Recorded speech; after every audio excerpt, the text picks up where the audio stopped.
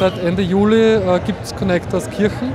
Connect ist ein Projekt, das grundsätzlich unbegleitete minderjährige Flüchtlinge betreuen soll mit Freizeitangeboten, mit sinnvollen Freizeitangeboten. Wir haben da zwischen 300 und 500 Jugendliche pro Freitag. Das heißt, die kommen halt und haben da Programm.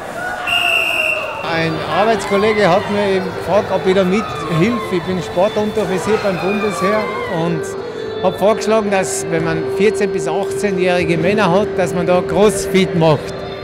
Crossfit das ist ja so eine Art Intervalltraining und da hat man natürlich Feuerlöscher, Kettlebells, Sprungschnier und alles drum und dran und da kann man einiges mit den jungen Männern machen, sodass sie wissen, aha, ich bin auch noch ein bisschen halbwegs kraftvoll. Ne? Ich arbeite hier ehrenamtlich und ich bin eigentlich, war ich fast jeden zweiten Tag hier in Dreiskirchen mit den Kids. Und ähm, dann kamen die zu mir, weil die wussten, ich mache Musik und meinten, ob wir das nicht irgendwie so machen könnten, dass wir mal eine Jam-Session organisieren. Dass jemand kommt und ähm, mit denen eben Musik macht, dass sie tanzen, singen, rappen und was auch immer.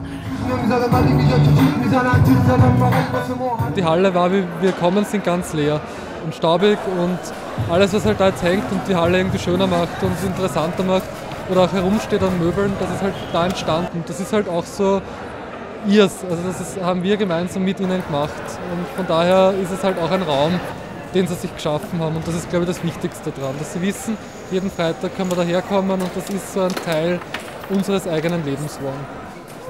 Die jungen Männer können zum Teil sehr gut handwerken und dann haben wir eine Nähmaschine mitgebracht, damit sie auch Polster nähen können. Und dann haben wir halt festgestellt, da waren gleich ganz viele junge Männer dabei und ähm, dass sie viele von ihnen gut nähen können. Also ich merke schon, dass man für sich selber eine sehr klare Verabredung haben muss, dass man es auch wirklich schafft, jeden Freitag hier zu sein und auch vorher dieses Material zu besorgen. Das macht schon in dem persönlichen Leben viel aus. Ich empfinde es so, man bekommt viel und geht sehr, wir gehen immer sehr froh nach Hause und habe das Gefühl, es war ein sehr erfüllter Tag.